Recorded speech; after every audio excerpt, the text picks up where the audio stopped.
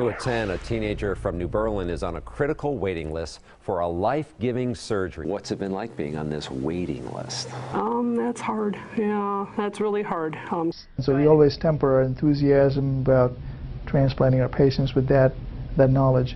In her seven months on the transplant list, uh, medicine that makes my heart pump better. Genova has been thinking of those donors and their families.